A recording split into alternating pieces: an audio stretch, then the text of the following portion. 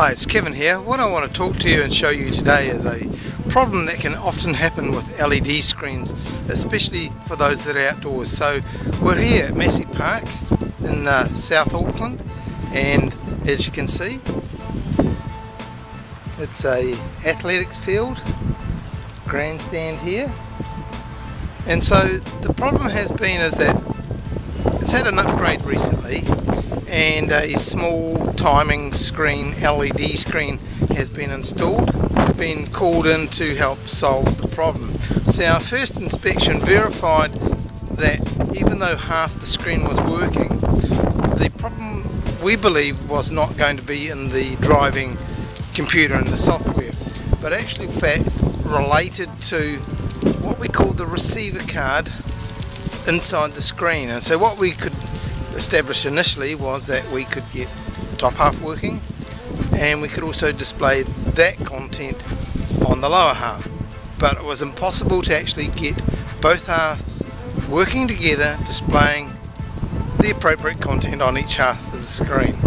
So we determined that by verifying um, whether the LED screen that was working at what stage within the cabinets was the signal failing and we determined that it was going to be the power controller that was driving the signal. Now this is not actually the power supply per se but actually the data processing board and one of the things that we found was that in actual fact moisture may have been affecting the problem even though it's quite a recent installation um, done by another company here um, but as I say we've been called in. And so I've just now been over to the cabinets and actually established in actual fact. There is moisture dripping down. And I noticed this earlier when we came out to make our first inspection that in actual fact the moisture coming through from the fan outlet on the back of the cabinet is dribbling down. Now I'm not sure whether in actual fact that has actually been the reason why moisture got onto the border and if that is the actual fact the cause of the whole problem that's obviously water and electronics. As you know don't go together. And so I've now noticed that in actual fact there is a water line. I've just wiped it with my hand and it's wet. So we need to remove that problem and we've got a simple idea as to how to do that and then we can replace the board. So come over now with me and we're going to go and actually go and sort this problem out once and for all. So here we are now at the rear of the screen and just to give you an idea of the construction. So it's a screen that's in two halves, top half and lower half. Signal comes in on this side for the power and you can see right at the very top there the antenna. So it's actually receiving its data signal wireless from over in the administration center and coming up onto that antenna up the top. And actually coming down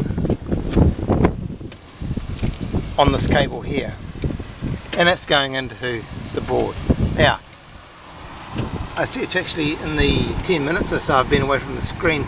It's actually dried out a little bit on this piece here. But you can see the issue here. You can see some watermarks here and you can see the fan here that's um, I believe is maybe moisture condensation is happening and potentially failing on this board. However when I look at it it actually is raised off the surface so maybe it's general atmospheric moisture uh, that is the problem in here. So what we're going to do we're now going to replace this whole assembly is where the problem exists and uh, that should then actually enable us to um, get this up and running correctly and making a number of people very happy. So uh, let me get on with the job now and we'll show you uh, the results soon. Is the actual controller as you can see. And uh, yeah, so this is where we believe the problem exists. So we're going to now replace these two pieces here and um, it should really just be a matter of reconnecting it all up and in theory uh, it should start working and of course we need to send the transmit the signal back from the computer back to the new boards and it should all be up and running. And so now we've got the cables that uh, feed directly out to the uh, rear of the LED screen to the circuit boards. So just to give you a little explanation here. So you can see here that we've got two rows of ribbon cables. One, two, three, four. So there's a total of eight. And one half, and we've labelled it, B for bottom and T for top. So these actually travel through here. So one set of cables goes up inside the cabinet here and the other one you can actually see and it loops out to the top one there, the next one here, there and there. And so what that now does, it feeds the LED data through the row of the screens right through to each one. So you can see there's another row here, loops here, and it continues right to the very end. The same here, loops here, and across, and and the same with up here. And so we'll just turn the power on, and uh, obviously everything's connected. And so now you can see that uh, the panels are all working. Obviously it's in the wrong language and uh, things aren't quite set up but we can see part of the uh, clock there and so now we have to go to the other side to the way over here to the administration side and uh, re-send the display signals to the board here.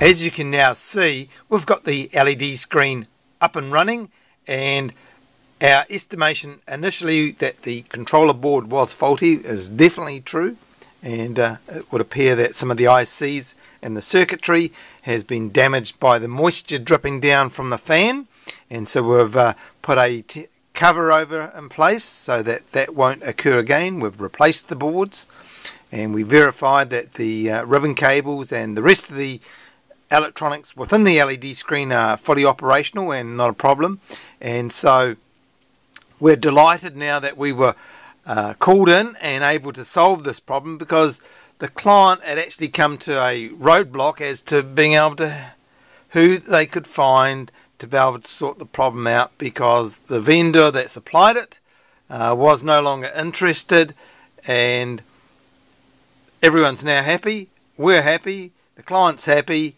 and of course the spectators are going to be happy because now they can see the times and scores of the activities that will be occurring on the sports field. So this is Kevin. Our contact details are on this video and on the associated text. If you have a problem, a query, a project that you need our expertise for in any of the audiovisual technologies, we look forward to hearing from you. Thank you very much.